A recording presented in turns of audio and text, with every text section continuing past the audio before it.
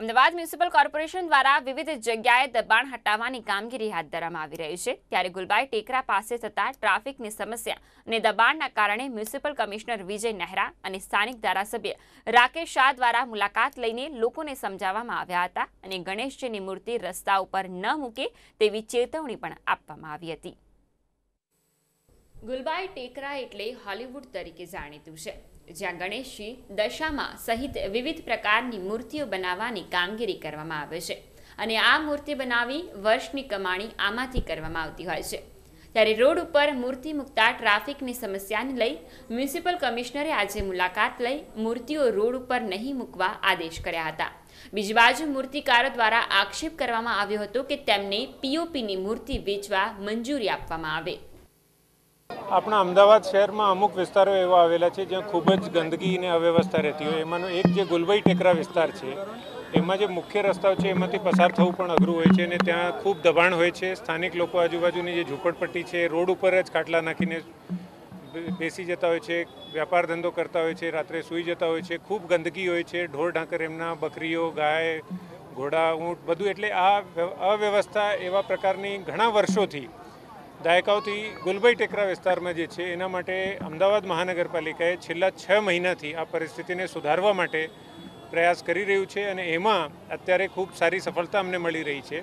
આજે વહેલી સવારથી એક અહીંયા અભિયાન ચલાવવામાં આવી રહ્યું છે. છ એક મહિના પહેલાંથી આપણે આખી બંને જે રોડ છે, એમાં વચ્ચે ડિવાઈડર નાખી દેવામાં આવ્યા, જેથી બે બાજુ ટ્રાફિકનો વાહન વ્યવહાર થઈ શકે, કોઈ પણ ટ્રાફિક જામ ના થાય.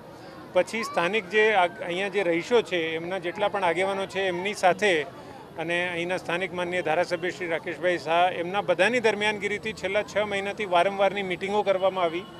સ્થાનિક લોકોને પણ આ બાબતમાં જાગૃત કરવામાં આવ્યા અને સ્થાનિક આગેવાનોને અને અહીંના નાગરિકો જે રહેવાસીઓ છે, એમને હું ધન્યવાદ આપવા માગું છું કે એમને છેલ્લે મોડા મોડું પણ આ બાબત સ્વીકાર કરી છે કે જે રીતે અવ્યવસ્થામાં અહીંયા બધું જોવામાં આવે છે, એવી પ્રકારની અવ્યવસ્થા ના રહે.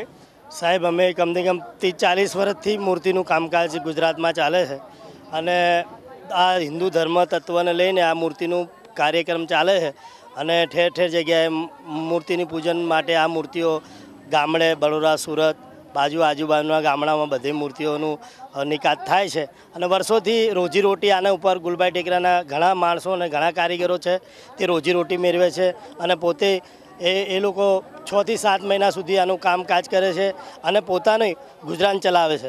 અને વારે ઘડીએ અમે મ્યુનિસિપાલિટી જોડે જગ્યાની માંગણી કર- કર- કરતા હોય છે. પણ અમને કોઈ જગ્યા એવી ફાળવામાં નહીં આવી કે તમને આ જગ્યા ઉપર મૂર્તિ કરી અને તમારું ગુજરાન ચલાવો અથવા તમે આ મૂર્તિ બનાવો એવું કોઈ આલેખ કરવામાં નથી આવતો.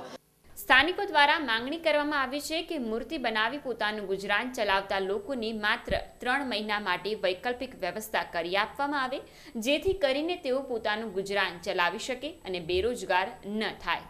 ગુલબાઈ ટીકરા પાસે વર્ષોથી જે કહી શકાય કે ગણપતિની મૂર્તિ તેમજ દશામાની મૂર્તિ, તમામે તમામ મૂર્તિઓ અહીંયા બનતી હોય છે. વાત કરીએ અમદાવાદ મ્યુનિસિપલ કોર્પોરેશન્સની, તો અમદાવાદ મ્યુનિસિપલ કોર્પોરેશન દ્વારા મ્યુનિસિપલ કમિશનર દ્વારા આજે ગુલબાઈ ટેકરાનો જે કહી શકાય કે રાઉન્ડ લેવામાં આવ્યો છે.